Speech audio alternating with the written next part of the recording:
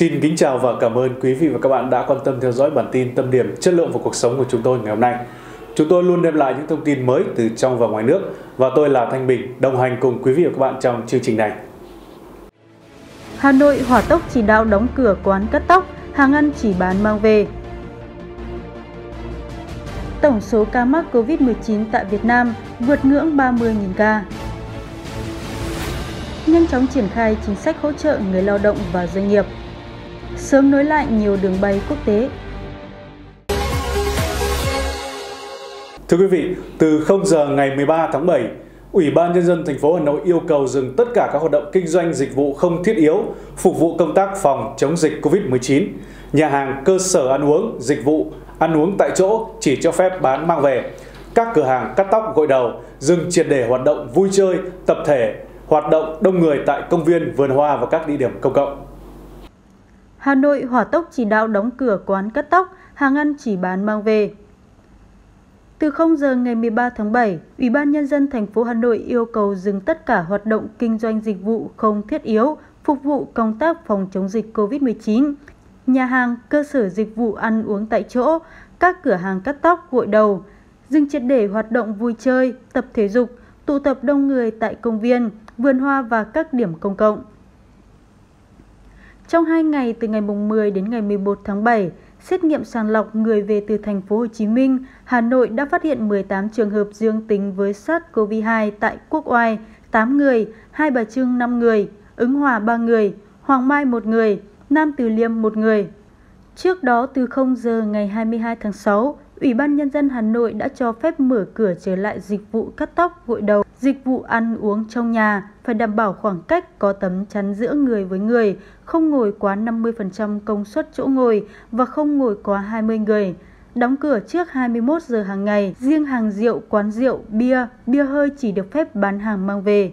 Sau đó Hà Nội tiếp tục cho mở lại sân gót, cho phép hoạt động thể dục, thể thao ngoài trời, nhưng phải đảm bảo quy định từ 0 giờ ngày 26 tháng 6 tới chiều ngày 7 tháng 7, Ủy ban Nhân dân thành phố Hà Nội ban hành công điện yêu cầu người dân không tụ tập quá 10 người ngoài trụ sở cơ quan, trường học, bệnh viện, nơi công cộng, các cơ sở dịch vụ, nhà hàng ăn uống trong nhà thực hiện nghiêm các quy định về đảm bảo an toàn phòng chống dịch và đóng cửa trước 21 giờ hàng ngày. Từ 18 giờ ngày 7 tháng 7, Hà Nội yêu cầu khai báo y tế bắt buộc cách ly tại nhà 7 ngày đối với người từ thành phố Hồ Chí Minh và các vùng dịch khác. Từ 18 giờ ngày 8 tháng 7, thành phố cũng quyết định tạm dừng các hoạt động thể dục, thể thao ngoài trời.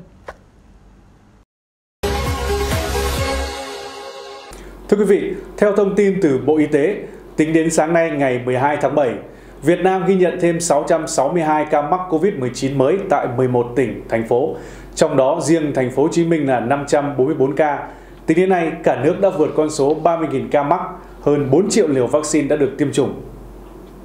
Hiện nay Việt Nam có tổng cộng 28.551 ca ghi nhận trong nước và 1.927 ca nhập cảnh. Số lượng ca mắc mới ghi nhận trong nước tính từ ngày 27 tháng 4 đến nay là 26.981 ca. Trong đó có 6.501 bệnh nhân đã được công bố khỏi bệnh. Có 12 tỉnh, thành phố đã qua 14 ngày không ghi nhận trường hợp mắc mới. Yên Bái, Quảng Trị, Tuyên Quang, Sơn La, Ninh Bình, Thái Nguyên, Điện Biên, Hải Dương, Phú Thọ, Nam Định, Lào Cai, Quảng Ninh. 8 tỉnh không có lây nhiễm thứ phát trên địa bàn Bắc Cạn, Cần Thơ, Thừa Thiên Huế, Hà Nam, Vĩnh Phúc, Kiên Giang, Đắk Nông, Quảng Nam. Số lượng xét nghiệm từ ngày 27 tháng 4 năm 2021 đến nay đã được thực hiện 3.970.892 xét nghiệm cho 9.748.532 lượt người. Tính đến 16 giờ ngày 11 tháng 7 năm 2021, tổng cộng đã thực hiện tiêm 4.051.585 liều vaccine phòng COVID-19, trong đó số người đã tiêm đủ 2 mũi vaccine phòng COVID-19 là 277.447 người.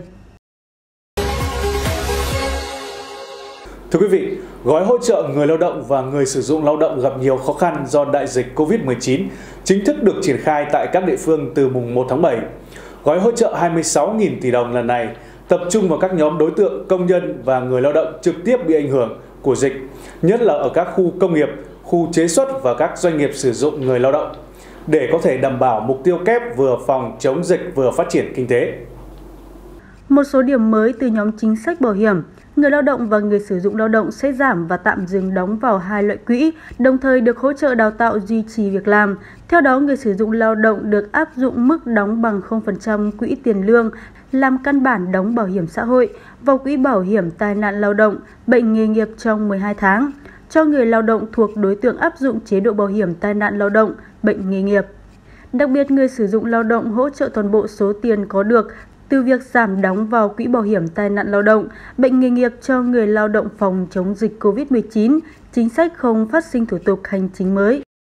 Với chính sách hỗ trợ người lao động và người sử dụng lao động tạm dừng đóng vào quỹ hưu trí tử tuất, chỉ cần giảm 15% số lao động thuộc diện tham gia bảo hiểm xã hội là được tạm dừng đóng vào quỹ hưu trí và tử tuất. Thời gian tạm dừng đóng theo Nghị định số 68 là 6 tháng, dài hơn so với trước đây là 3 tháng. Thủ tục hồ sơ đơn giản hóa rất nhiều so với đợt dịch trước. Với chính sách hỗ trợ người sử dụng lao động đào tạo, bồi dưỡng nâng cao trình độ kỹ năng để duy trì việc làm cho người lao động. Đây là chính sách hỗ trợ mới theo nghị quyết số 68 NQCP Chính phủ trong thẩm quyền của mình cho phép giảm một số điều kiện hưởng chế độ hỗ trợ đào tạo, bồi dưỡng nâng cao trình độ kỹ năng để duy trì việc làm cho người lao động từ quỹ bảo hiểm thất nghiệp để hỗ trợ người sử dụng lao động trong quá trình cơ cấu lại đầu tư, đổi mới công nghệ và quản trị, thích ứng với môi trường kinh tế trong nước và quốc tế trong và sau đại dịch COVID-19 với thời gian hỗ trợ một năm và nâng mức hỗ trợ tối đa từ 1 triệu đồng trên một người trên một tháng lên 1,5 triệu đồng trên một người trên một tháng. Thưa quý vị, Vietnam Airlines cho biết từ tháng 7 đến tháng 10 năm 2021, hãng mở lại các đường bay quốc tế giữa Việt Nam và một số điểm tại châu Á, châu Âu và châu Úc để phục vụ nhu cầu của hành khách, đặc biệt là người lao động, du học sinh muốn tiếp tục làm việc, học tập tại nước ngoài và các chuyên gia đến Việt Nam làm việc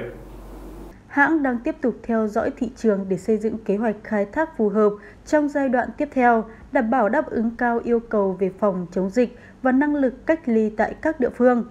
Trong bối cảnh nhiều quốc gia đã thực hiện tiêm chủng vaccine ngừa COVID-19 trên diện rộng và đang từng bước thử nghiệm các chính sách mở cửa, Việt Nam Airlines tiếp tục mở rộng mạng bay quốc tế và sẵn sàng khai thác hai chiều các đường bay, đồng thời kết hợp tối đa việc vận chuyển hàng hóa trên các chuyến bay chở khách quốc tế. Theo đó, Vietnam Airlines dự kiến kết nối lại hai đường bay đến Úc, bao gồm giữa thành phố Hồ Chí Minh và Sydney từ ngày 15 tháng 7 đến ngày 30 tháng 10, giữa thành phố Hồ Chí Minh và Melbourne từ ngày 20 tháng 7 đến ngày 30 tháng 10. Lịch khởi hành của các chuyến bay từ thành phố Hồ Chí Minh đến Sydney là thứ năm, chủ nhật hàng tuần và chiều ngược lại vào thứ ba, thứ bảy hàng tuần. Từ thành phố Hồ Chí Minh đến Melbourne là thứ ba hàng tuần và chiều ngược lại vào thứ năm hàng tuần. Tại khu vực châu Á, từ ngày 17 tháng 7 đến ngày 30 tháng 10, Vietnam Airlines khai thác trở lại đường bay giữa Hà Nội và Tokyo, Nhật Bản vào thứ Tư, thứ Bảy hàng tuần. Từ ngày 1 tháng 8 đến ngày 30 tháng 10, hãng mở thêm đường bay giữa thành phố Hồ Chí Minh và Bangkok, Thái Lan vào thứ Tư hàng tuần. Đường bay từ Tokyo, Nhật Bản đến thành phố Hồ Chí Minh vào thứ Năm hàng tuần. Tất cả chuyến bay quốc tế trong giai đoạn này đều được Vietnam Airlines thực hiện bằng máy bay thân rộng Boeing 787 và Airbus A350.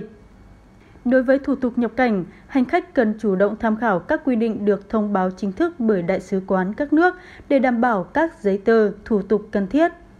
Riêng các chuyến bay từ nước ngoài về Việt Nam, đại lý bán vé có thể hỗ trợ hành khách tổng hợp và gửi hồ sơ làm thủ tục nhập cảnh đến nhà chức trách để phê duyệt.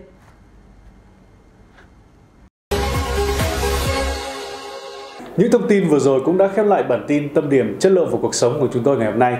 Mọi ý kiến đóng góp mời quý vị gửi về tòa soạn số 214 ngõ 22 Tôn Thất Tùng, Đống Đa, Hà Nội hoặc văn phòng đại diện phía Nam số 6264 Nguyễn Biểu, phường 1, quận 5, thành phố Hồ Chí Minh. Quý vị cũng có thể gửi về hòm thư chất lượng và cuộc sống a gmail.com hoặc qua hotline 0243 574 7649. Còn bây giờ xin cảm ơn quý vị và các bạn đã quan tâm theo dõi. Xin kính chào và hẹn gặp lại.